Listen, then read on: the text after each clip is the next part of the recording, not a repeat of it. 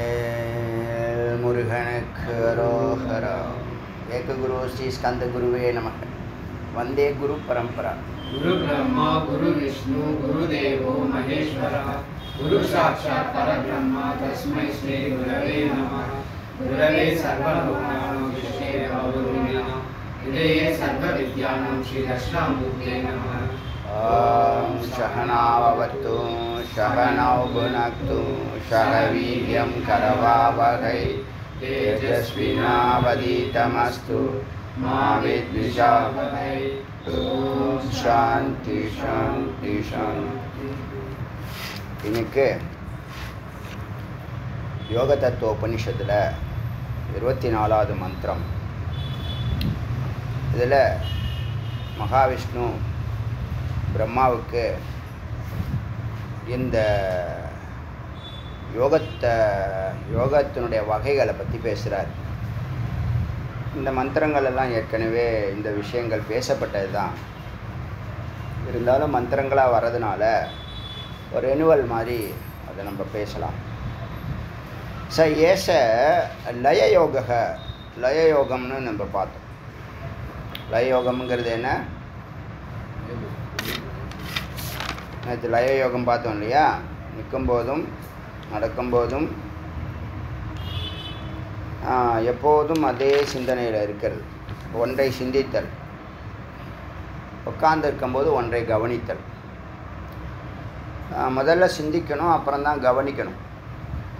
இந்த தியானத்திலேயே சமாதி வரைக்கும் போகிறதுக்கு பதஞ்சலி சொல்கிற விஷயம் என்ன அப்படின்னு கேட்டால் முதல்ல வித்தர்க்கம்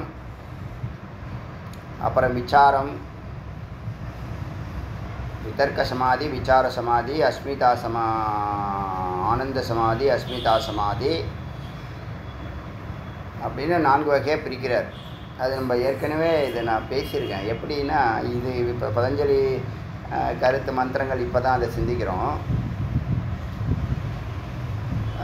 பொதுவாக சொல்லுவேன் நான். இந்த திருவண்ணாமலையார் அண்ணாமலையை ஒரு ஸ்தூலமாக முதல்ல தியானிக்கிறது.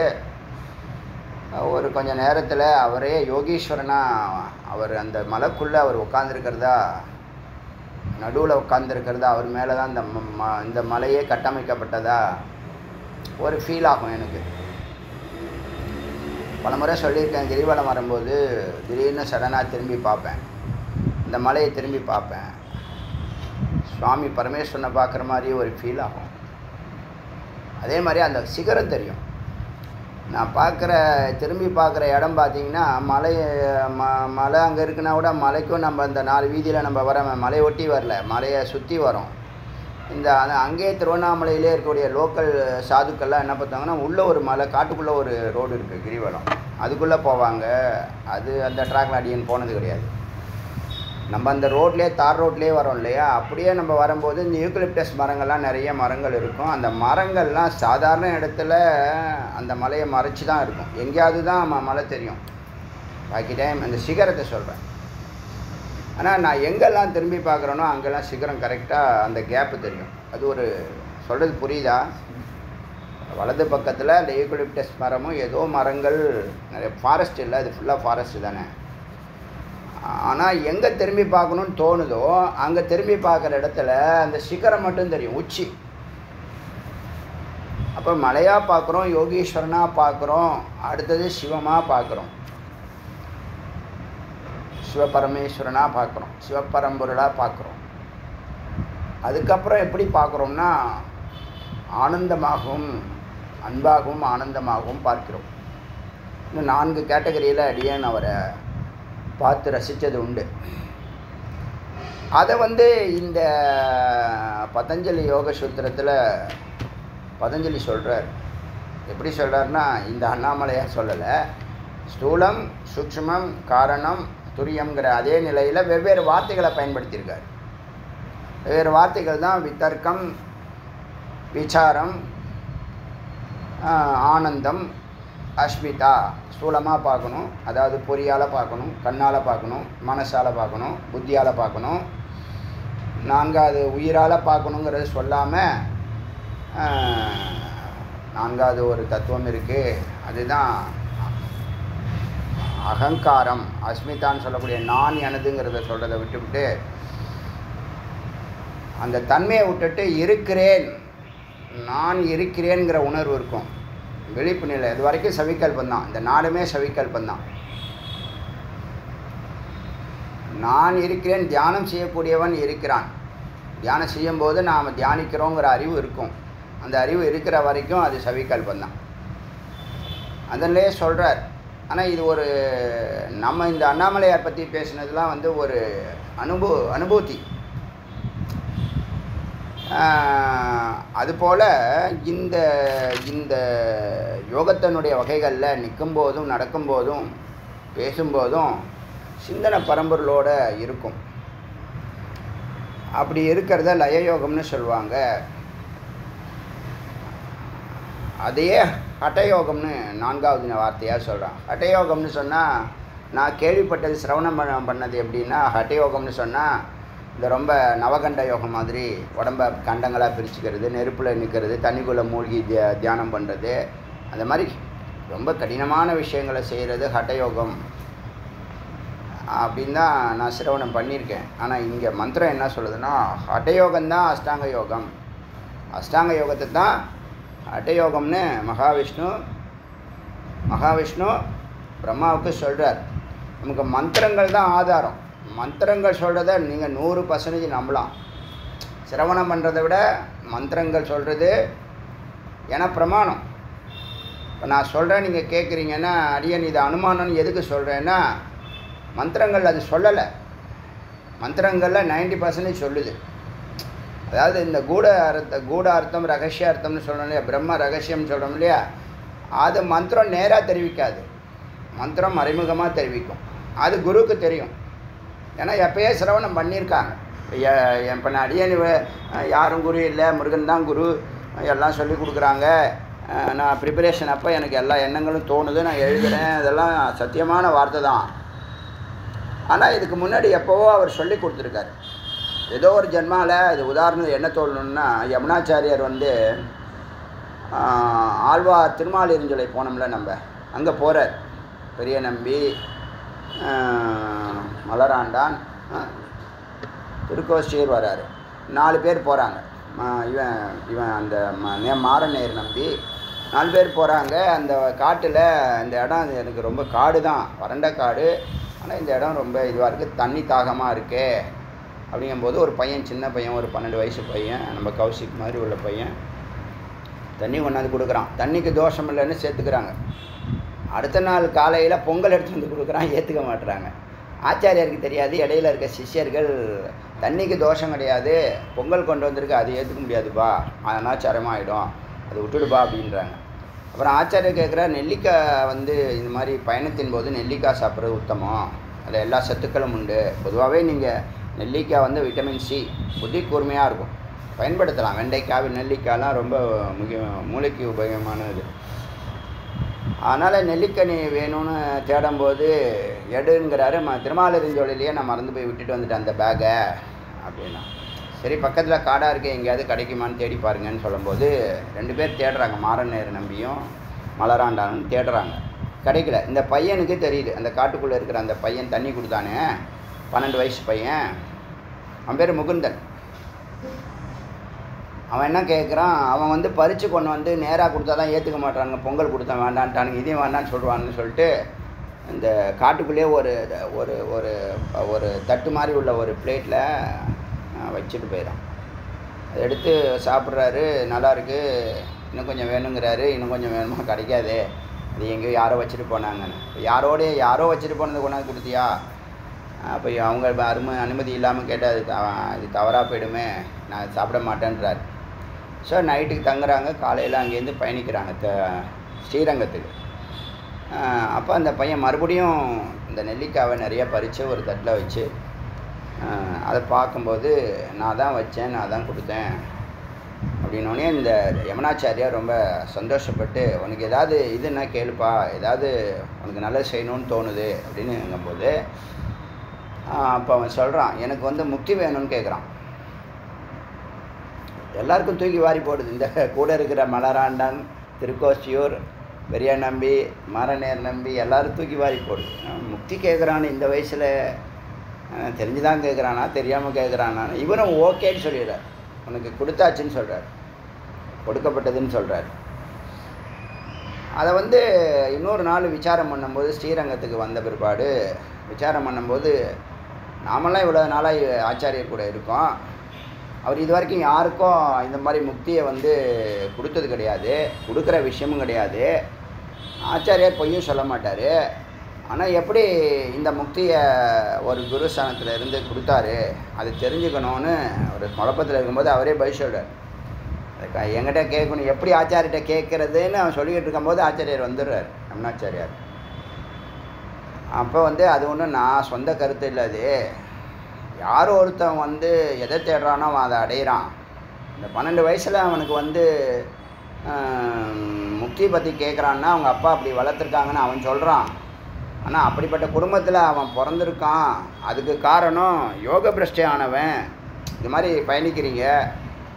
குருவோட ஒரு பிணக்கு ஏற்படுது. விட்டு விலகி போய்ட்றீங்க. இல்லை வந்து பணத்தை பணத்தை ஆசை வந்துடுது. ஏதோ ஒரு லௌகீக ஆசை வந்துடுது. விட்டு அந்த பிரேக் ஆகிடுச்சின்னு சொன்னால் அவன் கதி அதோ கதியானா அவன் கதி அதோ கதி அல்ல. அவன் எங்கே விட்டானோ அடுத்த ஜென்மாவில் திரும்ப மானுடம் பிறந்து அந்த விட்ட இடத்துலேருந்து திரும்ப பயணத்தை தொடருவான். அவங்க மானுட பிறவி கண்டிப்பாக உண்டு. பக்தி கொண்டாலே மானுட பிறவி கன்ஃபார்ம் ஆகுது. இந்த மாதிரி புரோமத்தி தியானம் நான் இதெல்லாம் பேசியிருக்கேன் முன்னாடி பேசியிருக்கேன். அதுக்கெல்லாம் இப்போ ஆதாரம் கிடைக்கிது அதுக்கு சொல்ல வரேன். அப்போ முக்தி வந்து அவனுக்கு நிச்சயமாக அவனுக்கு உண்டுங்கிறது என்னுடைய வாக்கு இல்லை பெருமாள் சொல்கிறாரு அர்ஜுனனுக்கு பெருமாள் சொல்கிறாரு அதே மாதிரி சாஸ்திரங்களில் சொல்லப்பட்டிருக்கு. யார் எதை தேடுகிறானோ அவன் அதை அடிக்கிறான். இந்த முக்தி வேணும்னு கேட்குறதுனால இவன் இந்த ஜென்மாவுடைய வார்த்தை இல்லை பல ஜென்மாவுடைய தொடர்ச்சி தான்.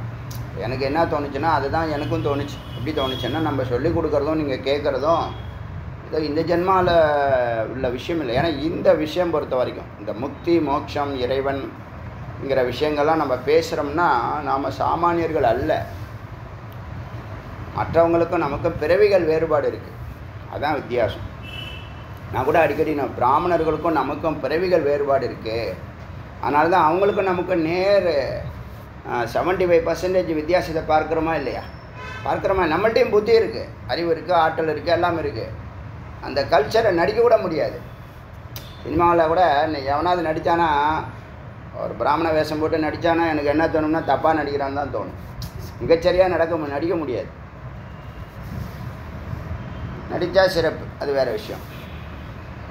எக்ஸம்ஷனை பற்றி நான் பேசலை. ஜென்ரலாக சொல்கிறேன் ஒரு ஏ ஒரு வேறுபாடு இருக்கிற காரணம் வேதம் தான் அதுக்கு காரணம். வேதத்தை தொட்டது தான் காரணம். வேதத்துக்குள்ளே வந்தது தான் காரணம். ஏன் அந்த பண்பாடு நமக்கு வர மாட்டேங்குது நம்ம எத்தனை பேர்கிட்ட சொல்கிறோம் எத்தனை பேர்கிட்ட பேசுகிறோம் ஏன் அவங்களுக்கெல்லாம் உள்ளே போக மாட்டுது?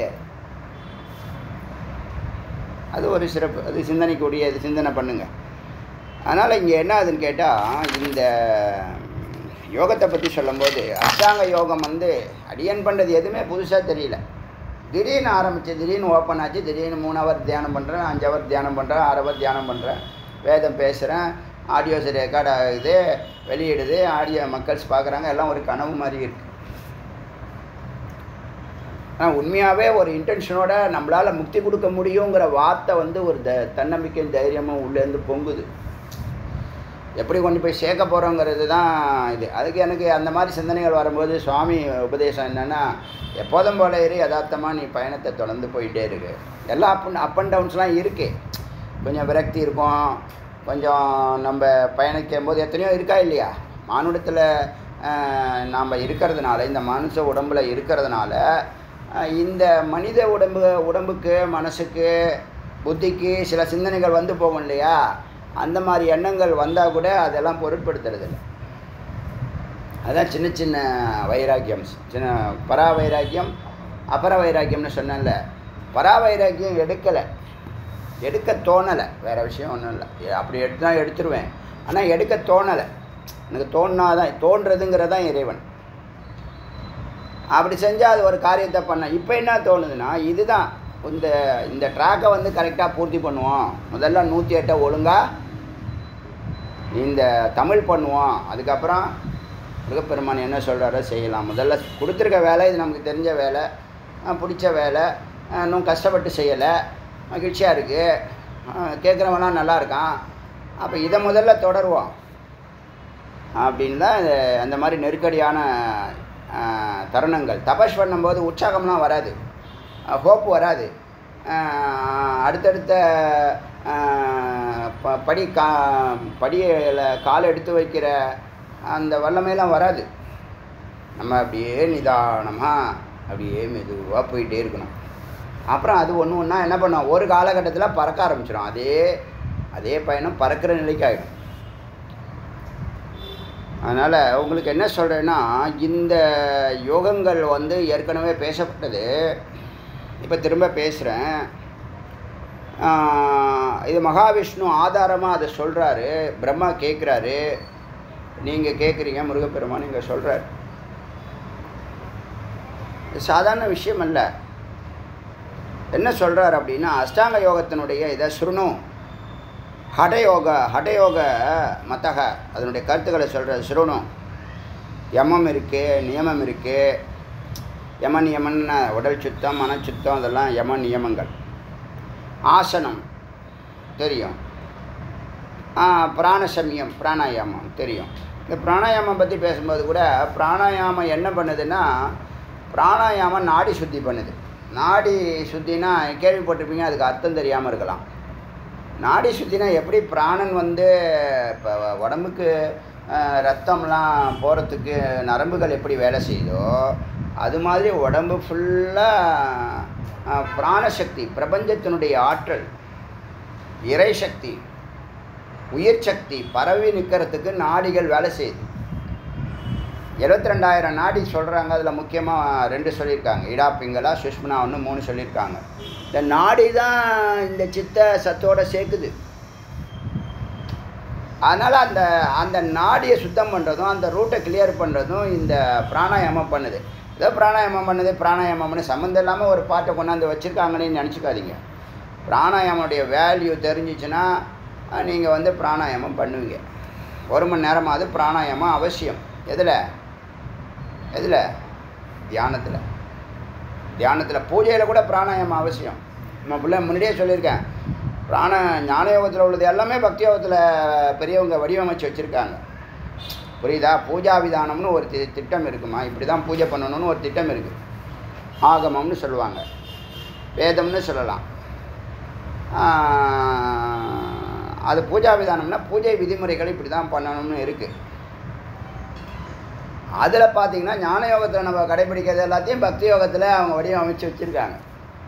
என்னை பொறுத்த வரைக்கும் ஞான யோகமும் பக்தி யோகமும் வேறுபட்டு தெரியலை. இன்னும் சொன்னால் ரெண்டு கண்ணும் ரெண்டையும் ரெண்டு கண்ணாக நம்ம பார்க்கலாம்.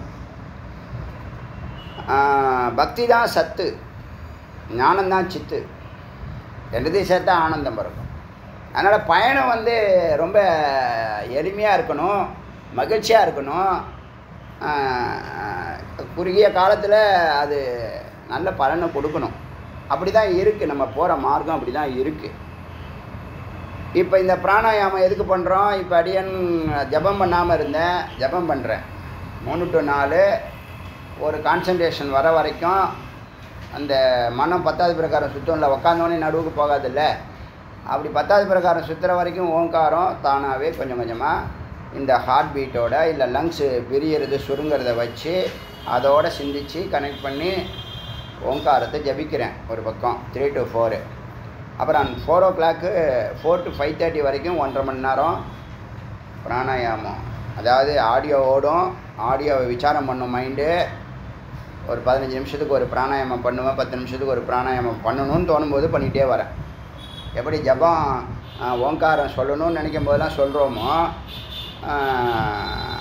ஆதியில் மதியில் இறுதியிலன்னு சொல்லும்போது இப்போ தொடர்ந்து சொல்கிற ஒரு மனநிலை வந்திருக்கு ஒரு பக்கம். அதில் ஆனந்தமாக இருக்குது ரெண்டாவது பக்கம். மூணாவது இப்போ பிராணாயாமம் பண்ணுறோம் பிராணாயாமம் அதிகமாக பண்ணுறோம் இதெல்லாம் என்னத்துக்குன்னா இதெல்லாம் வந்து நாடி சுத்தமானுச்சுன்னா ரூட்டு கிளியர் ஆகும். நடுவுக்கு போகிறதுக்கு ஏன்னா சித்து போகக்கூடிய மார்க்கம் வந்து சித்தோடைய ரூட் வந்து ந நரம்புகளில் போகல நாடிகளில் தான் போகுது பயணிக்குது.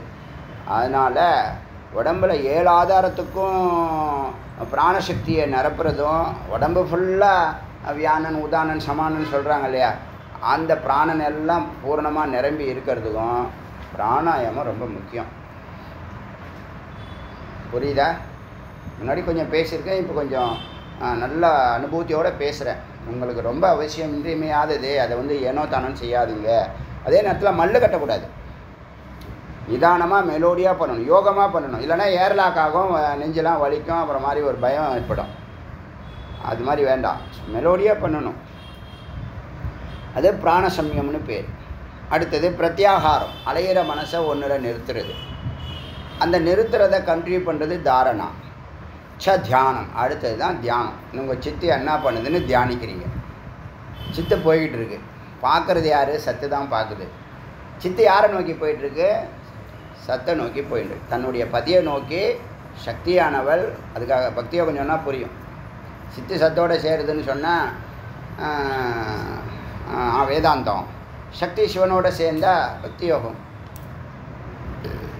உண்மை தான் மேலே என்னெல்லாம் கற்பனை பண்ணுறோமோ அதையெல்லாம் இப்போ சத்தை வந்து இருப்புன்னு தான் சொல்கிறாங்க நாம தான் அன்புன்னு சொல்கிறோம் சத்துனா ஏதோ ஒன்று இருக்குது. என்னத்துக்கு இருக்கணும்? எப்போதும் இருக்குது ஏதோ ஒன்று இருக்குது எப்போதும் இருக்குன்னு என்னது இது? அன்பு தான் அது. ஆனந்தம் தான் அது அதை சொன்னேன் ஒரு செல் ஒரு ஒரு செல் சொல்லு செல்லிலேருந்து ஒரு நீண்ட பயணம். கோடிக்கணக்கான பிறவிகள்லாம் கடந்து தான் இங்கே வந்து உட்காந்துருக்கீங்க நீங்களும் நானும். அதெல்லாம் கொஞ்சம் தெளிவாக புரிஞ்சுக்கணும். புரிய புரிய தான் ஞானம் பிறக்கும். ஒரு ஜென்மாவில் இல்லை அவசரப்படுறதுக்கு கவலைப்படுறதுக்கோ துக்கப்படுறதுக்கோ இந்த ஜென்மா இல்லைன்னா அடுத்த ஜென்மா. இந்த ஜென்மா ஒழுங்காக பயன்படுத்தணும்ல. வந்த வேலையை செஞ்சுட்டியானா என்னை பொறுத்த வரைக்கும் நான் செஞ்சுட்டேன்னு சொல்லுவேன். என்னை பொறுத்த வரைக்கும் வந்த வேலையை செஞ்சுட்டேன்னா புதுசாக ஒன்றும் செய்கிறதுக்கு இல்லை. இந்த ராஜகோபுரம் கட்டணும்னு இருக்குது ஒரு கோடி பேருக்கு இந்த ஜீவன் முக்த சூத்திரத்தை சொல்லிக் கொடுக்கணும்னு இருக்குது இதான் ரெண்டே பாயிண்ட் தான் என்னை பொறுத்த வரைக்கும். பக்தி யோகத்துக்கு ஒன்று ஞான யோகத்துக்கு ஒன்று புரியுதா? வேறு என்ன புதுசாக செய்கிறதுக்கு இருக்குது அது அப்புறம். சின்ன சின்னதெல்லாம் பண்ணியிருக்கோம் அதெல்லாம் விட்டுட்டு அதெல்லாம் கணக்கில் வச்சுக்கிறேன் ராஜகோபுரத்தை ஒரு கணக்கு எடுத்துக்கிறேன் ஒரு மைல் கல்லாக எடுத்துக்கிறேன். இந்த ஒரு கோடி சிஷ்யர்களை உருவாக்கணுங்கிற முயற்சி பண்ணுறோம் இல்லையா? தமிழ் பண்ணுறோம் இல்லையா? அது ஒரு பெரிய இதுதான் இந்த ரெண்டு கான்சென்ட்ரேட் பண்ணுறேன் இதில் வேறு என்ன செய்கிறதுக்கு இருக்குது இதுவே பெரிய விஷயம். சாமானியர்கள் செய்ய முடியாத விஷயம். ரொம்ப எளிமையாக செஞ்சுட்டு இருக்கோம் மகிழ்ச்சியாக செஞ்சுக்கிட்டு இருக்கோம் அதுதான் பெரிய விஷயம். நேரம் போகிறதே தெரியறதில்ல. ஒரு நாள் இப்போ பேசி முடிச்சேன்னா அடுத்த அஞ்சாவது நிமிஷத்தில் அடுத்த நாள் வந்துடுது அதே ஏழரை எட்டரை வந்துடுது அதனால் பிராணசம்யம் முக்கியம். தாரணா தியானம். தாரணா தாண்டியாச்சு தாரணானா நிற்கிறது தியானம் தியானத்தில் மூணு இருக்குன்னு சொல்லியிருக்கேன். முன்னாடி சொன்னது வெறும் தியானம். இப்போ தியானம்னா ஏகாகிரம் நிருத்தம் நிஷ்டை. ஒன்றில் நிற்கிறது ஏகாகிரம். அந்த பழக்கம் இருந்தாலே நிறைய அனாவசியமான விஷயங்கள்லாம் கட்டாயிடும். ஒன்றில் நிற்கிறோம்னு வச்சுங்களேன் எல்லா விஷயமே அது பொருந்தும். இப்போ இங்கே விட்டுட்டு திருவ திருச்செந்தூர் போகிறேன் அங்கே போகிறேன் இங்கே போகிறேன்லாம் சொல்கிறாங்கல்ல என்றைக்கோ ஒரு நாள் போகலாம் புதுசாக ஒரு இடத்துக்கு போயிட்டு வரலாம். தப்பு இல்லை. எதுக்காக போகிறேன்னு தெரியாமல் அப்படியே போயிட்டே இருக்கோன்னா ஒரு அர்த்தம் இருக்கணும்ல. பக்தியில் என்ன வேணாலும் பண்ணலாம். அதில் கணக்கே கிடையாது. சுவாமி ஏற்றுக்குவார் ஞானத்தில் கணக்கு இருக்குது படிக்கட்டு இருக்குது ப்ராக்ரஸ் இருக்குது அப்போ பார்த்தீங்கன்னா ஒன்றில் நிற்கணுங்கிற அறிவு இல்லை. அவங்களுக்கு காரியம் ஆகணுங்கிறாங்க. காரியம் ஆகணும்னு சொன்னால் காரியம் ஏன் இங்கே நகாது? இங்கே அங்கே யார் இருக்கா? எங்கும் இருக்காரு. எங்கும் இருக்காரு சுவாமி. என்னைக்கோ ஒரு நாளைக்கு இந்த அறிவு உங்களுக்குள்ளே வரும். அறிவு தான் இப்போ ப்ராப்ளம் அப்போ அது செயலுக்கு வரும். எனர்ஜி டைம் ஆகும். மிச்சம் டைம் எனர்ஜி மணி மிச்சம் ஆகும் இப்போ எல்லாத்தையும் விட்டுட்டு உக்காரலான்னு சொல்கிறேனே ஏகாந்தமாக உக்காரலான்னு சொல்கிறேனே நீங்கள் கேட்க வேண்டியதெல்லாம் அலைஞ்சு தெரிஞ்சு கேட்க வேண்டாம். உட்காந்த இடத்துல ஒரு ரூம்லேயே அதெல்லாம் சொல்ல போகுது. மந்திரம் சொல்லுது. அடியன் கருத்து இல்லை சொந்த கருத்து இல்லை. சொல்லுது. அதனால் இந்த தியானம் ஏகாகிரம் நிருத்தம் ஏகாகிரம் வந்து நிற்கணும். எதை நிறுத்தணும்? எண்ணங்கள் எல்லாத்தையும் நிறுத்த போகுது.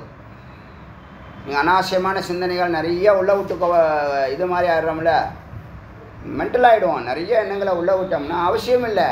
குப்பையெல்லாம் போட்டு நாம தான் எல்லாம் பண்ணுற மாதிரி. நாம் ஒன்றுமே பண்ணலை. அது பண்ண வைக்குது. பாவமோ புண்ணியமோ அது பண்ண வைக்குது. நல்லதோ கெட்டதோ அது பண்ண வைக்குது. நீ வந்து பயபக்தியோடு இருக்கணும் அவ்வளோதான் ஸ்ரத்தையோடு இருக்கணும் அவ்வளோதான் நான் பாவம் பண்ணிட்டேன் நான் புண்ணியம் பண்ணிட்டேன் நான் செய்கிறேங்கிற எண்ணமே இருக்கக்கூடாது. என்னால் செவிக்கப்படுகிறது யார் செவிக்கிறா பரம்பொருள் டைரக்டர்னு ஒருத்தன் இருக்கான். நமக்கு ஏன் பாவ ரோல் கொடுத்தான் புண்ணிய ரோல் கொடுத்தானா அதான் நம்ம சேர்த்து வச்சுருக்கோம். நமக்கு யோகிதா அதான். அதுக்கு அடுத்தது இந்த தியானத்தை புரோ மத்தியே புரோ மத்தியே மத்தியேன்னு சொன்னாலே நடு ஹிருதயத்துலேயும் தியானம் பண்ணலாம் புரோ மத்தியிலையும் தியானம் பண்ணலாம் சகசிராரத்துலேயும் தியானம் பண்ணலாம். எங்கே வேணாலும் தியானம் பண்ணலாம். ஒரே இடத்துல பண்ணணும் அதான். இங்கே செவ்வாய்க்கிழமை ஒன்று திங்கக்கிழமை ஒன்றுன்னு பண்ணக்கூடாது. ஒரே இடத்துல பண்ணணும் எப்போதும். ஸோ அப்படி புரூமத்தியமே நீங்கள் புரூமத்தியமே ஹரிம் சமாதிஹி சம அவஸ்தா சமாதி நிலை வருகிறது. சமாதி நிலை தான் இந்த நாலு சவிகல்பம் சவிதர்க்கம் ஆனந்தம் அஸ்மிதா அப்படின்னு நாலு முறையில் சொல்கிறாரு அப்புறம் நிர்வீகாரம் அப்புறம். இந்த சமாவஸ்தாவில் ச அஷ்டாங்க யோகம் இந்த எட்டு அங்கங்கள் அஷ்டாங்க யோகமாக சொல்லப்படுகிறது. மகாமுத்ரா முத்திரைகள்லாம் பற்றி சொல்லுது. மகாமுத்ரா மகாபந்தோ மகா மகாவேத மகாவேத ச கேச்சரி இதெல்லாம் முத்தியா முத்ரை ஜலந்தரோ ஜாலந்தரோ நாக்கம் அடக்கிறது உட்டியானம் வயிற்றை சுருக்கிறது. இப்படி சுருக்கிறது. மூலபந்தம் ஆசன வாயை சுருக்கிறது பிடிச்சிக்கிறது. பிராணாயாமம் பண்ணும்போது பிடிப்பாங்க. மூலபந்தோ ததைவ அது மாதிரி இருக்குது இது முத்ராசு. அப்புறம் திராக தீர்க்க பிர பிரணவம். அந்த பிரணவம் ஹ்ரஸ்வம் தீர்க்கம் பிளுத்தம்னு மூன்று வகையாக சொல்கிறோம் இல்லையா? ஓங்காரம். அதுதான் தீர்க்க பிரணவம். அப்புறம் அனுசந்தானம். அனுசந்தானம்னா விசாரம். என்ன அனுசந்தானம்? நீ குரு சொல்லக்கூடிய கருத்தை எதுக்காக சொன்னாங்க? இதில் என்ன அர்த்தம் இருக்குது எதை வலியுறுத்துகிறாங்க அப்படின்னு ஆராய்ச்சி சிந்தனை. அப்புறம் சித்தாந்தம். ஒரு கோட்பாடு இருக்குது மகா யோகத்துக்கு யோகத்துக்குன்னு ஒரு கோட்பாடு இருக்குது அதை ஃபாலோ பண்ணி போகிறது சிரவணம் கேட்குறது இதெல்லாம் பரமம் மேலானது. அப்புறம் பிரஜோலி ச அம சாமரோலி ச சகஜோலி திரிதாமதாக இதெல்லாம் முத்திரைகள். இதெல்லாம் நம்ம ஃபாலோ பண்ண போகிறதில்ல ஞான யோகத்தில் இதெல்லாம் நம்ம ஃபாலோ பண்ணுறதில்ல அதனால் இதெல்லாம் நீங்கள் தெரிஞ்சுக்கிறது தான் இம்பார்ட்டன்ட் இல்லை. எதேஷாம் லக்ஷணம். பிரம்மண பிரத்யேக ஸ்ருணு தத்துவத்தக இதான் லக்ஷணம். பிரம்மாவே உனக்கு இதெல்லாம் சொல்லுகிறேன். பிரத்யேகம் தனித்தனியாக சொல்லுகிறேன். ஸ்ருணு கேள். தத்துவத்தக தத்துவங்களை சொல்லுகிறேன். லகு ஆகாரம். அளவாக சாப்பிடணும். இப்போ தியானம் பண்ணுறவங்கெல்லாம் வயிறு தொப்பையும் தொந்தியமாக இருக்கக்கூடாது. வயிறு வந்து ஒரு நேர்கோட்டில் உக்காந்தா இப்படி சுரைக்கா மாதிரி இருக்கக்கூடாது. பறைங்கா மாதிரியும் இருக்கக்கூடாது. அகலமாகவும் இருக்கக்கூடாது. வயிறு வந்து என்ன இருக்கணும்? நீட்டாக ஸ்ட்ரைட்டாக இருக்கணும். அது சொல்லுது. யமேஸ்வ ஏகோ முக்கிய பவதி நாய்த்தரக இந்த விதிமுறைகளில் ஒன்று முக்கியம். எல்லாத்த விட ரொம்ப ஒன்று முக்கியம். எதை ஆதாரமாக இதெல்லாம் செயல்படணும்னா அஹிம்சா நியமேஸ்வ ஏகோ முக்கியா வை சத்துரானன் ஏ சத்துரான நான்கு முக கடவுளே. பிரம்மாவே. அஹிம்சா ஹிம்சை இல்லாத சன்னியாசியனுடைய தாரக மந்திரம் அஹிம்சை என்னால் எந்த ஜீவராசிகளுக்கும் எந்த தீங்கும் இன்னிலேருந்து வராதுன்னு சங்கல்பம் பண்ணுவாங்க. அது மாதிரி நாமளும் எடுத்துக்கலாம். நம்ம போகிறப்ப கூட எறும்புலாம் இருக்கான்லாம் கொஞ்சம் கவனம் செலுத்தணும். கவனம் செலுத்துகிறத கவனம் செலுத்தலாம். ஐயோ எறும்பை மீழ்ச்சிட்டேனே பத்து எறும்பை? அப்படின்னு சொன்னால் அது சுவாமி வச்சு செய்கிறாரு நம்மளை வச்சு. அதுக்கு மோச்சம் கொடுக்க வேண்டாமா? இன்னொன்று தெரியுமா? எதை கொலை பண்ணுறோமோ அதோடைய கருமாலாம் நம்ம ஏற்றுக்கிறோன்னு அர்த்தம். நல்லா புரிஞ்சுக்கங்க. நீங்கள் எல்லாம் சும்மா எங்கள் அம்மாலாம் சும்மா பூச்செல்லாம் ரொம்ப சர்வசாதாரணமாக சாகடிப்பாங்க. எனக்கு எனக்கு அது என்ன அருவருப்பாக இருக்கும். கரெக்டான வார்த்தை. அருவருப்பாக இருக்கும். அவங்க சகஜமாக சகஜமேனுக்கு அடிப்பாங்க வச்சு சாகடிச்சிருவாங்க. அது மாதிரிலாம் செய்யப்படாது. அது எப்போ அது ஏதாவது ஒரு ஜென்மாவில் அவங்களுக்கு உபதேசம் ஆகும். நம்ம போய் உபதேசம் பண்ண முடியுமா? லைட்டாக அடிக்காதுன்னு தான் சொல்லுவோம். அவங்க என்ன சொன்னான் பயந்துக்கிட்டே அடிக்க வேண்டாம்னு சொல்கிறான் அப்படி சொல்லுவாங்க. ஏன்னா பூராம் பூச்சி நெட்வாக்கிளி எல்லாம் கூட ச வரும். வந்திருக்கு. நாங்கள் அடிக்க மாட்டோம். அடிக்காமல் விட்டாலும் ஆபத்து. இதெல்லாம் இருக்கு இல்லையா? காந்தியடிகள் என்ன பண்ணுவார்? பிடிச்சி கொண்டு போய் அதுக்குன்னு ஒரு பாம்பு பெட்டியை வச்சுருக்காரு. இன்னமும் இருக்குது அதெல்லாம். அந்த நார்த்தில் இருக்குது இந்த சேவா கிராம் அங்கே குஜராத்து அங்கெல்லாம் இருக்குது அவர் ஆசிரமம் எங்கெல்லாம் வச்சுருந்தாரோ அங்கெல்லாம் இருக்குது இந்த இடம். என்ன பிடிச்சி கொண்டு போய் ஒரு ரெண்டு கிலோமீட்டர் மூணு கிலோமீட்டர் அந்தாண்ட கொண்டு விட்டுட்டு வருவார். காட்டு பகுதியில் வயல் வரப்பில் கொண்டு போட்டு வந்துடுவார் அடிக்க மாட்டார். எதுக்குன்னா எந்த எந்த ஜீவராசியை நீ கொள்றையோ அதனுடைய பாவ புண்ணியம் ஒன்று சேர்ந்துடும் நீ ஏற்றுக்கிற அதுக்கு விடுதலை கொடுத்துட்ற அந்த கணக்கில் தான் அவர் பண்ணுறாரு என்ன பரம்பரை என்ன பண்ணுது? மூணு எறும்பை கொன்னியா? மூணு எறும்புடைய பாவ புண்ணியெல்லாம் ஒன்று சேரும். அதுக்கு விடுதலை. அதுக்கு ஹாப்பி பூஜை பண்ணும்போது கொசு கடிக்குன்னு வச்சுங்க கடிக்கிட்டோம் நல்லா கடிக்கிட்டோம்.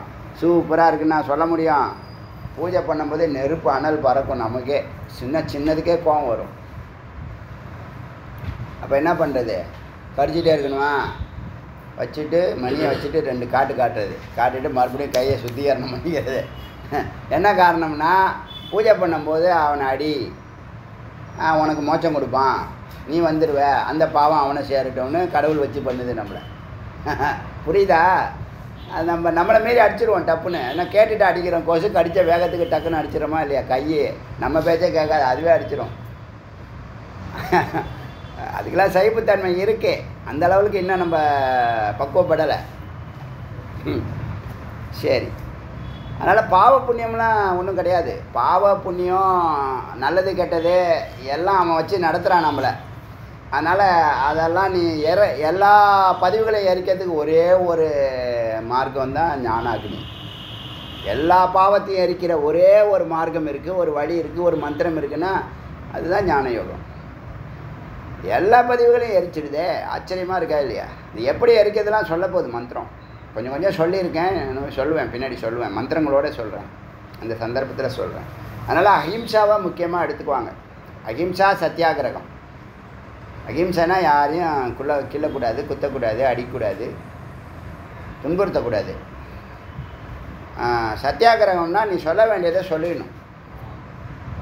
இங்கே அவங்க கோச்சிக்கிறாங்க அவங்க வ- வருத்தப்படுவாங்க அவங்க வந்து அதெல்லாம் தான். நீ சொல்லலைன்னா நீ பாவி ஆயிடுற. சொல்ல வேண்டிய நேரத்தில் சொல்ல வேண்டியதை சொல்லலைன்னா நீ பாவி. பேச வேண்டிய நேரத்தில் பேசாமல் நீ இருந்தீங்கன்னா நீ பாவி தான் அதனால் அது பொய்யோ தப்போ ரைட்டோ சாப்பிட்டா சொல்லணும். அவங்க கோபம் வராமல் சொல்லணும். அவங்க மனம் வருத்தப்படாமல் சொல்லணும். அவங்களுக்கு அறிவுறுத்தணும்னு சொல்லணும். அவங்களுக்கு அவங்க சிந்தனையை தூண்டணுங்கிறதுக்காக சொல்லணும். ரொம்ப எளிமையாக சொல்லணும். புரியுதா? சத்தியம் வத பிரியம் வத. சரி. இப்போது அகிம்சாவை ஒரு முக்கியமான சித்தாந்தமாக வச்சுக்க சொல்லுது வேதம். ஆசனங்களில் சித்தாசனம் பத்மாசனம் சிங்காசனம் பத்ராசனம்னு நான்கு ஆசனத்தை சொல்லுது. சித்தாசனம். இந்த உட்காந்துருக்கும் போதே நம்ம பூஜை பண்ணும்போதே கொஞ்சம் நேரம் ஆனால் இப்படி இப்படி வந்துடுது என் கை என் கால் இப்படி வந்து ஆட்டோமேட்டிக்காக நான் மாறிடுறேன். பூஜை பண்ணும்போது நீங்கள் பார்த்தீங்கன்னா எல்லோரும் சொல்லலாம் மூணு மணி நேரம் எப்படி ஸ்ட்ரைட்டாக உட்காந்துருக்காருன்னு நான் ஸ்ட்ரைட்டாக தான் உட்காந்துருப்பேன் முதுகுத்தண்டு மாறாது தலை மாறாது. அந்த கால் என்ன ஆகும்னா ஆட்டோமேட்டிக்காக சுகாசனத்துக்கு சித்தாசனத்துக்கு வந்துடும் உட்காந்துருக்கும் போது சுகாசனத்தில் உட்காந்துருப்பேன் பூஜை ஆரம்பிக்கும் போது பூஜை முடியறதுக்குள்ளே இந்த ஆசனம் வந்துடும் சித்தாசனம் வந்துடும் அது என்னமோ பல பல ஜென்மாக்களுடைய தொடர்புன்னு நினைக்கிறேன்.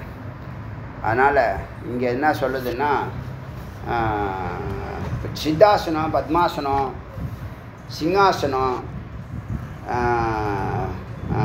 பத்ராசனம் நான்கு ஆசனம் முக்கியமாக சொல்லு சதுஷ்டயம் என்று நான்கு ஆசனங்களை சொல்கிறது.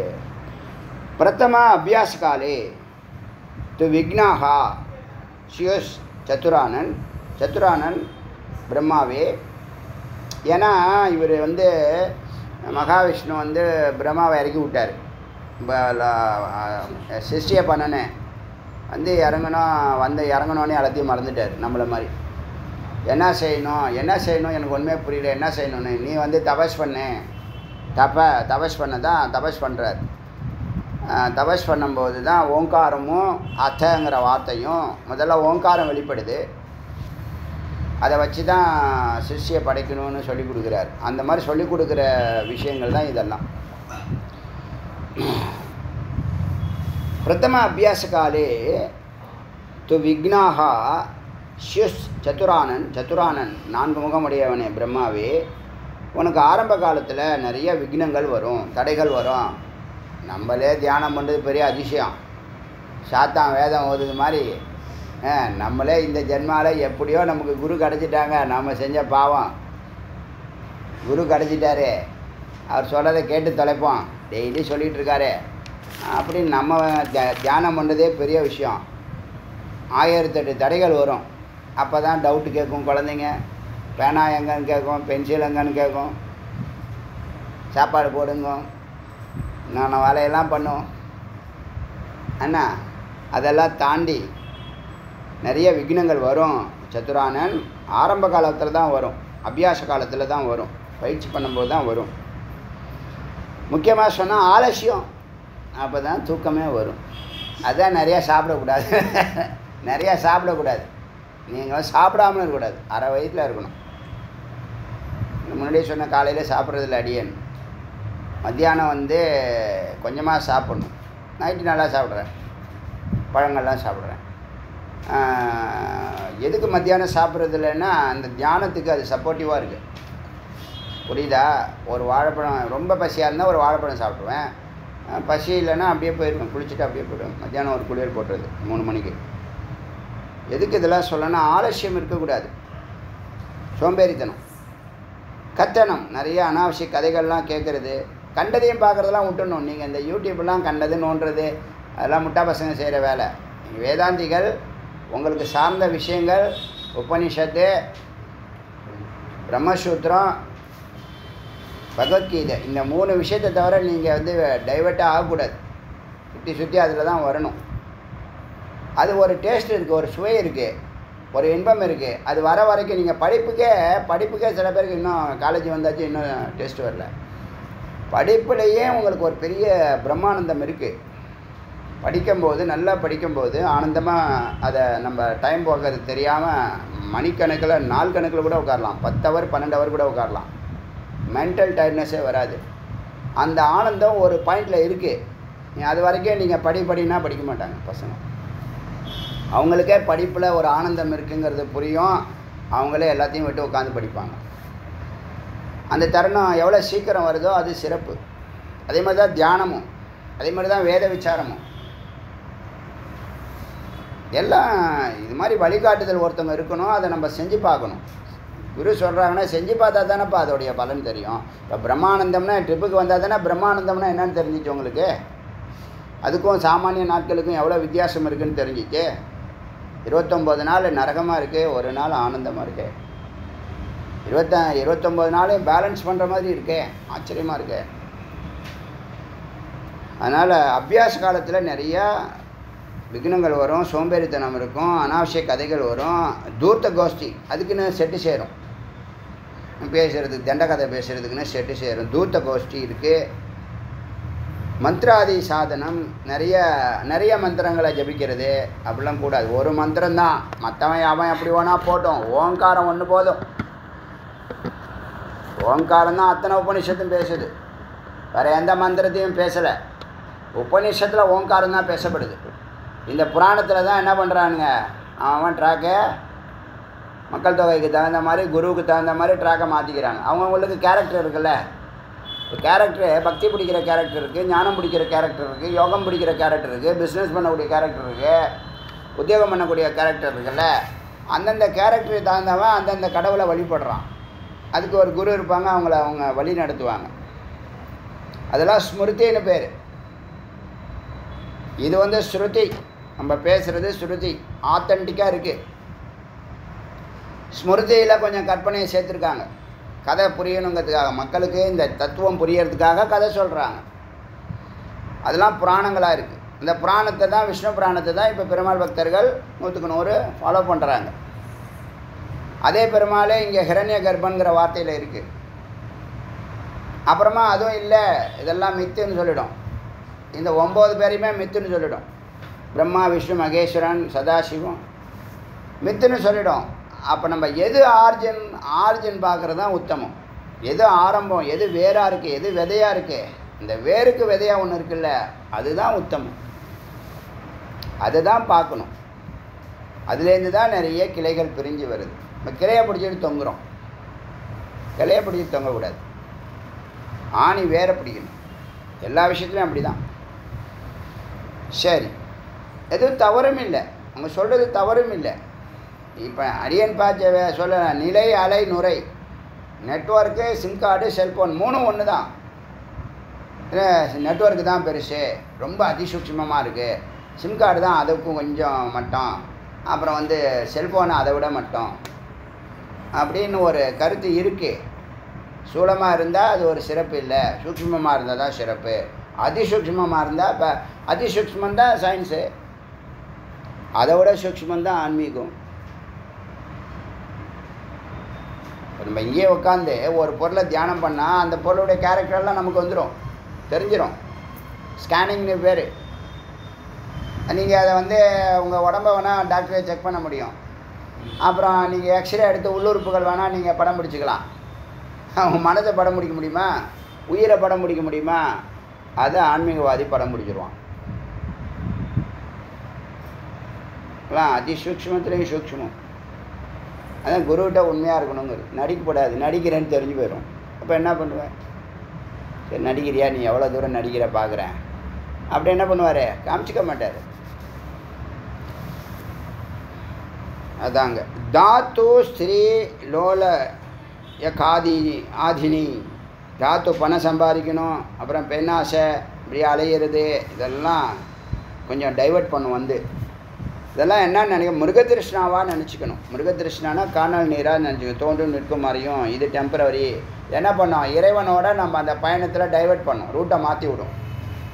நம்மளே இத்தனை ஜென்மா எடுத்து இப்போ தான் இறைவனை பிடிக்கணும்னு நினச்சிருக்கோம். அதில் இப்போ தான் வரக்கூடாதெல்லாம் வரும். சிந்திக்காதெல்லாம் சிந்திக்க தோணும். அதெல்லாம் அது பேர் முருகதிருஷ்ணான்னு பேர். மிருகதிருஷ்ணானா காணல் நீர். அந்த மாதிரி அதை நினச்சி ஞாத்துவா அறிந்து சுதேஷ் தியஜேத் நீக்குவாயாக சர்வான் விக்னான் எல்லா விக்னங்களையும் புண்ணிய பிரபாவத்தக புண்ணியத்தினால நீக்குவாயாக அப்படின்னு சொல்லி அப்புறம் நீங்கள் தியானம் பண்ணுறதுக்கு இவ்வளோ நாள் இடத்த செட் பண்ணீங்களோ இல்லையோ? இனிமேல் ஒரு சின்னதாக ஒரு குடியா ஒரு குடிசை ஒரு ரூம் அது உங்களுக்குன்னே தியானத்துக்குன்னே இருக்கணும். பூஜை பூஜை ரூமும் தியான ரூமும் ஒன்றா இருக்கலாம் தப்பு இல்லை. பவித்திரமாக இருக்கும். பூஜை பண்ணுற மாதிரி தான் தியானம். ஞானமும் அதே தான். இப்போ கிளாஸ் எப்படி நடக்குது? பவித்திரமாக நடக்குது. பூஜை நடக்கிற மாதிரி தான் கிளாஸும் நடக்கும். பூஜை நடக்கிறப்ப என்ன பவித்திரம் புனிதம் இருக்குமோ அதே இது கிளாஸ்லேயும் இருக்கும். அதே இது தியானத்துலேயும் இருக்கணும்னு சொல்ல வருது. பிராணாயாமம் தத தத்தக குறியாத். அப்புறம் பிராணாயாமம் பண்ணணும். உட்காந்த பிற்பாடு ஆசனத்துக்கு அப்புறம். ஏன் ஏன் பிராணாயாமம்? நாடி சுத்திக்காக. பத்மாசனகத ஸ்வயம். பத்மாசனத்தில் உட்காரணும். சுஷோபன மட்டம் குறியாத். ஒரு சின்ன ஒரு மடத்தை உருவாக்கிக்கணும். மடம்னா என்னது? ஒரு சின்ன ஒரு இடம். ப்ளீஸ் சூக்ஷ்ம துவாரம் தூ நிர்வ நிவரணம். ஒரு சின்ன வழி இருக்கணும் உள்ளே போகிறதுக்கு தியானம் பண்ணுறதுக்கு. அதை தவிர வேறு யாரும் உள்ளே போகக்கூடாது. சுஷ்டுலிப்தம். கோ கோமயேன. கோமயேன கோமனா பசுமாட்டினுடைய சாணத்தினால அதை மெழுகி கிழுகி மொழுகி பூசி ஆ நன்றாக பூசி சுதையா சீர் செய்யணும். பிரயத்தனத்தக அதுக்கான முயற்சி செய்யணும். மத் குர்னே மத் குர்னே மத் குர்னே மஸ்கை லூர்த்தே வர்ஜிதம். மூட்டைப்பூச்சி கொசு அதெல்லாம் உங்களை டிஸ்டர்ப் பண்ணக்கூடாது. தியானம் பண்ணும்போது அகிம்சை வாழை பண்ண சொல்லியிருக்காரு. கொசு கடிக்குதே ரொம்ப கடிக்குதே கடிக்குதே கடிக்குதே கடிக்குதே அப்படின்னு சொல்லிட்டு இருந்தான். அதெல்லாம் என்ன டிஸ்டர்ப் பண்ணும். அது வரைக்கும் கடிக்க கடிக்காத கொசு அங்கே தான் அப்போ தான் கடிக்கும். அவள் முதுகில் போய் கை எட்டாத இடத்துல போய் கடிக்கும். எறும்பு அதே மாதிரி. அப்போ நம்ம என்ன பண்ணுறது இதுக்கெல்லாம் இல்லாமல் இருக்கிறதுக்கு சாணத்தினால முழுகுனா அந்த காலத்தில் எழுதியிருக்கான் பாருங்கள் இப்போ பாக்டீரியாஸ் வைரஸ்லாம் வராது சாணத்தில் சுத்தமாகும். ஸோ வர்ஜித்த ச பிரயத்தனத்தக. தினே தின ச சம்புஷ்டம் கொஞ்சம் கொஞ்சமாக ஒவ்வொரு நாளாக தியானத்தை பாருங்கள் நீ உக்காந்தோடனே எனக்கு தியானம் வரல. கண்ணை மூடி உக்காந்துருக்கேன் ஒரே இருட்டாக இருக்குது முருகன் வரவே இல்லையே அப்படி சொல்லக்கூடாது. உன்னை உட்கார தான் சொன்னார். அவர் வரேன்னு சொன்னாரா? ஒரு மாமி ஒரு குழம்பு வச்சு பாருன்னு சொன்னி சமைத்து பாருன்னு சொன்னிச்சான். சமைச்சு பார்த்து அந்த டேஸ்ட்டு வரவே இல்லைன்னு சமைச்சு தானே பார்க்க சொன்னேன். டேஸ்ட் வரும்னு சொன்னேன்னா சமைத்து பார் சமைத்து சமைத்து வீட்டுக்காரனுக்கு கொடுத்து பார். அவன் சாப்பிட்டுட்டு உயிரோடு இருந்தால் நீயும் சாப்பிடு. அது மாதிரி. தினே தினேச்ச சம்புஷ்டம். கொஞ்சம் கொஞ்சமாக ஒவ்வொரு நாளாக இந்த தியானத்தை மேம்படு மேன்மைப்படுத்த வேண்டும். சம் மார்ஜன்யா நன்றாக தூயதாக்கி சுத்தம் செய்து விசேஷத்தக விசேஷமாக தூய்மை செய்து இந்த நாட்களை இந்த நா இந்த தியான கா தியானத்துக்கான இந்த இடத்தை சுத்தம் செய்ய வேண்டும். வாசித்தம் ச சுகந்தேன தூபிதம். நீ வசிக்கிற இடத்துல சுகந்தம் நல்லா நறுமண பொருள்லாம் வீசணும். என்ன? குக்குலா குக்குலா குக்குலா குக்குலா அது குக்குலா பேதம்னு சொல்லுவோம் இல்லையா? குக்குலம் அப்படின்னு சொன்னால் ஒரு மரம் அது. அது வந்து புகையும். ஆனால் நறுமணம் வீசும் சந்தனம் மாதிரி. சந்தனக்கட்டையை லைட்டாக எரிச்சானா மனம் வீசும் சொல்லுவாங்கள்ல தெரியுமா தெரியாதா? அது மாதிரி குக்குலான்னு ஒரு மரம் இருக்குது அந்த மரத்தை அந்த காலத்தில் கிரா இதெல்லாம் இதுக்குள்ளே தான் நடக்குது ஆசிரமத்தில் தான் நடக்குது. அதனால் இதெல்லாம் பண்ணுவாங்க. ம் குக்குலாதி துபிகி. அந்த இதில் வந்து சுகந்தம் ஏற்றி வைக்கிறது நல்லது. தியானம் பண்ணுற இடத்துல. அப்புறம் நாத் நாத்யூ சேத்ரம் நான் உச்சிதம் நாத்தி நீச்சம். அதாவது உயர்வாகவும் இருக்கக்கூடாது நீச்சமாகவும் இருக்கக்கூடாது. ஒரு சின்னதாக ஒரு பீடம். ஒரு இது மாதிரி ஒரு மரக்கட்டையில் ஒரு பீடம் பலகக்கட்டை. நீத்தி நாத்தி நீச்சம். சைலாஜின. ச ஏலாஜின துணி குஷோ சொன்னால் அந்த தர்ப புல் மான்தோல். இதெல்லாம் அந்த காலத்தில். தோல் அதாவது மிருகத்தினுடைய தோல் ஏதாவது போட்டுக்கணும். தத்திர உபவிஷ்ய மேதாவி பத்மாசன சமன்வித்தக அந்த பிற அந்த பீடத்தில் இந்த இதெல்லாம் போட்டு அது மேலே பீடத்தை போட்டு சமதளமாக இருக்கக்கூடிய அந்த பத்ம இடத்துல இந்த தியானம் பண்ணுறவங்க பத்மாசனம் சமன்வித்தக பத்மாசனத்தில் அமர வேண்டும். ருஜுக்காயக ருஜுக்காயகனா இந்த ஸ்பைனல் கார்டு இருக்குல்ல அது ஸ்ட்ரைட்டாக இருக்கணும். ருஜுக்காய முதுகு ஸ்ட்ரைட்டாக இருக்கணும். பிராஞ்சலி முன்பக்கம் வணங்கி பிரணமிஷ்ட பிர பிரணமிஷ்ட பிரம பிரணமேதிஷ்ட. இஷ்ட தெய்வத்தை வணங்கி எந்த தெய்வத்தை வணங்க தியானம் பண்ண போறியோ தேவதாம். பிரணமே இஷ்ட தேவதாம்.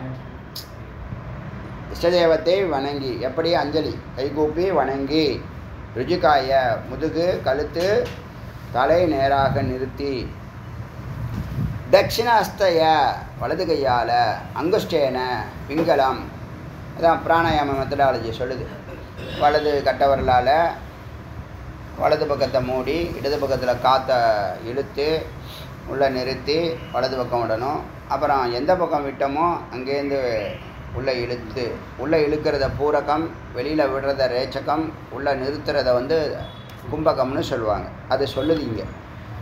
தட்சிணாஸ்தய அங்குஷ்டே வலது கை கட்டவர்களால் பிங்களம் இடா பிங்களான் இருக்கு இல்லையா? இடானா இடது பக்கம் பிங்களானா வலது பக்கம். அதை அடைச்சி நிருத்த பூரை ஏது வாய மூக்கை இழுக்கும் மூச்சை இழுக்கணும்.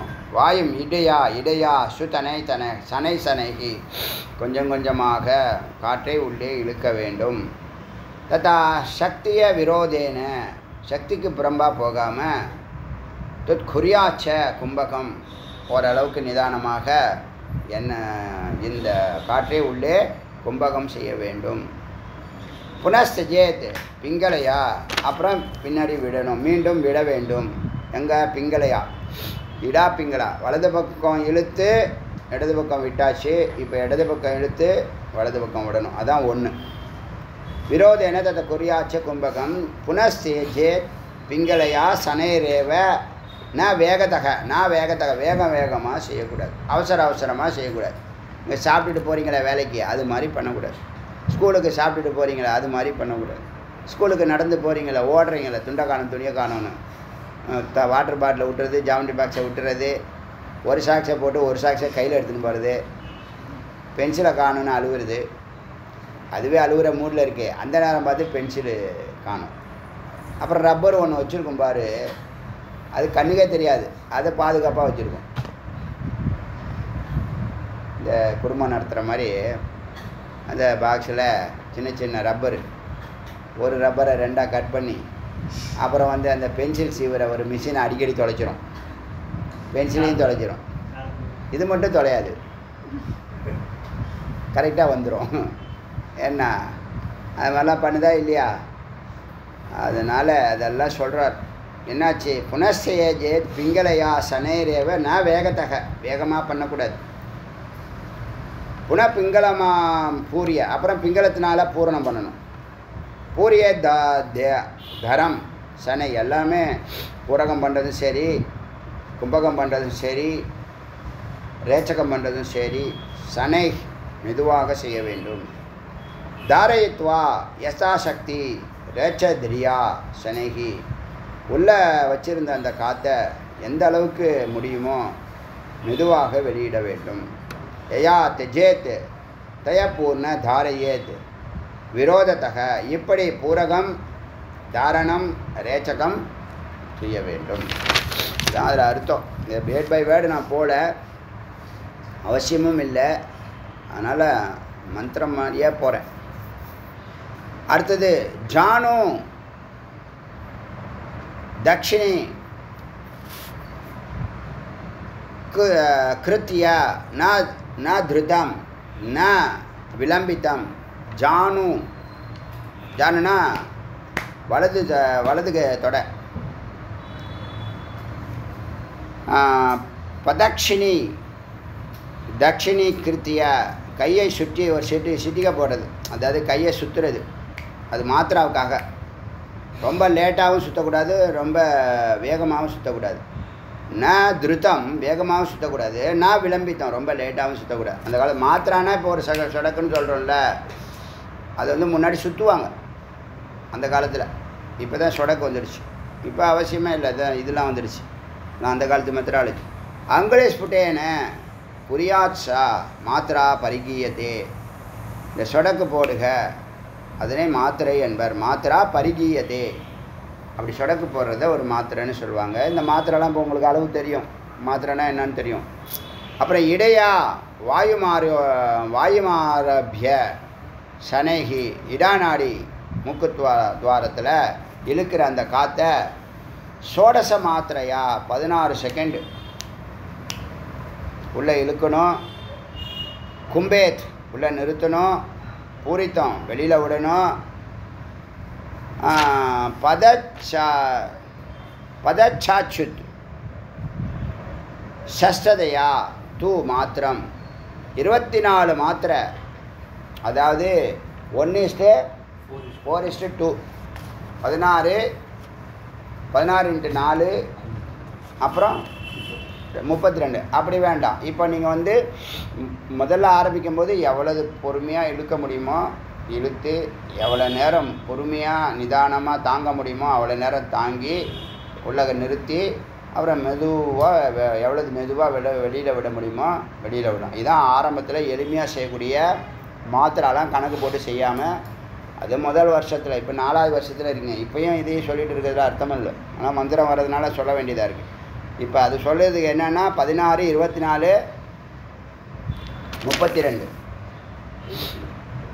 One is to four is to two பதினாறு இன்ட்டு இப்போ பதினாறு இன்ட்டு டூ என்னது? முப்பத்தி ரெண்டு இழுக்கிறது பதினாறு விடுறது முப்பத்தி ரெண்டு அப்புறம் ஃபோருங்கிறது என்ன? நிற்கிறது எவ்வளோ நேரம் நிறுத்த முடியுமோ அவ்வளோ நேரம் நிறுத்துகிறோம் அது வந்து இது கொஞ்சம் அட்வான்ஸ் லெவல் முதல்ல நான் சொல்கிறது தான் ஈஸி நானும் ஆரம்பத்தில் இது தான் பண்ணுறேன் எவ்வளோ நேரம் இழுக்க முடியுமோ இழுப்பேன். எவ்வளோ நேரம் நிதானமாக எந்த ட்ரபிளும் இல்லாமல் நிறுத்த முடியுமோ நிறுத்தியிருப்பேன். அப்புறம் மெதுவாக விடுறது. இதுதான் பாலிசி நான் அந்த மாத்திராலாம் பார்க்குறதில்ல. நீங்கள் மாத்திரா பார்த்து செய்யலாம். தப்பு இல்லை சரி. அடுத்தது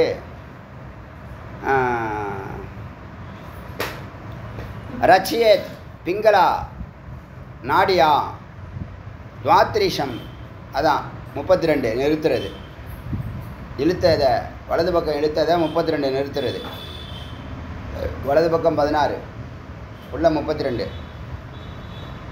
புன புன பிங்களா பூர்ண பிங்களா பூரிய பூர்வத்தை சுமாஹிதாக எப்படி முன்னாடி இடது பக்கம் இழுத்து உள்ளே நிறுத்தி வெளியில் விட்டியோ அதே மாதிரி வலது பக்கம் இழுத்து உள்ளே நிறுத்தி வெளியில் விடு.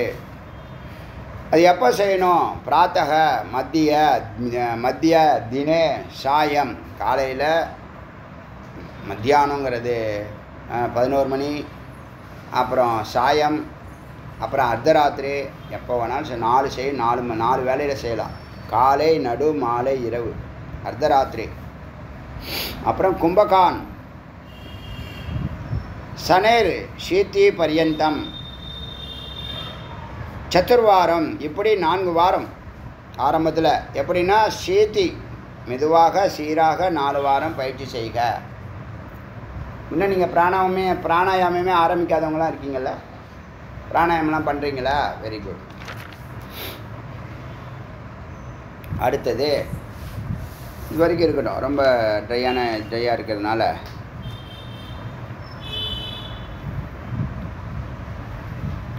சத்துர்வாரம் நான்கு வாரம்.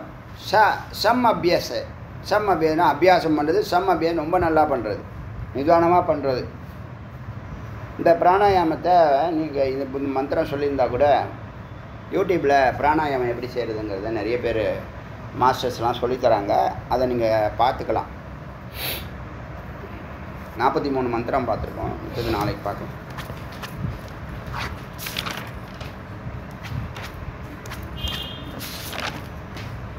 என்ன சொல்ல வருது? யோகத்தினுடைய வகை சொல்லியிருக்கு. அகிம்சையை ஃபாலோ பண்ண சொல்லுது. தூய இருப்பிடம் அதுக்குன்னு ஒரு செ- இடம் செட்டப் பண்ண சொல்லுது. பிராணாயாமத்தில் ஆரம்பித்து நாடி சுத்தி பண்ண சொல்லுது. இதெல்லாம் எதுக்கு எதுக்கு பிராணாயாமம்? அதெல்லாம் நாடி சுத்தி பண்ணுறதுக்காக தான்.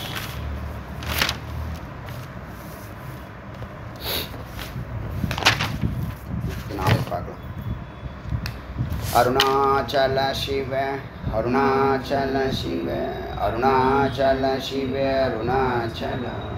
அருணாச்சல சிவ அருணாச்சல சிவ அருணாச்சல சிவ அருணாச்சல அருணாச்சல சிவ அருணாச்சல சிவ அருணாச்சல சிவ அருணாச்சல சிவேர் முருகனுக்கரோ